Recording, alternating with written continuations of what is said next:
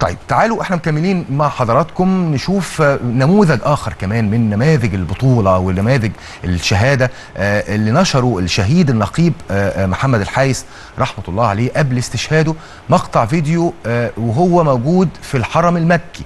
في الكعبه وبعض الفيديوهات للدعاء وهو بيدعي طبعا لوالديه وال- وعدد من المنشورات اللي كان بيكتبها على الحساب الشخصي الخاص بيه.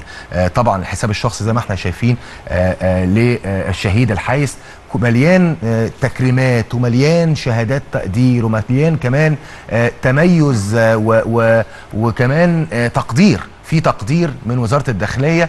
آخر تكريم زي ما إحنا شايفين كان ليه في في شهر سبتمبر اللي فات ال- اللواء هشام العراقي مساعد وزير الداخلية ومدير أمن الجيزة كرمه آه، آه، وقدر اداؤه الخاص والمشرف آه، وما بذله من جهد كمان مميز جدا في مسيرته الأمنية ربنا يرحمك وربنا يرحم كل شهدائنا الرجال ال- الأب يا رب كمان يكونوا يعني نحتسبهم كده شهداء أبرار هم في مكان أرقى ونالوا ال- ال- المقام الأسمى.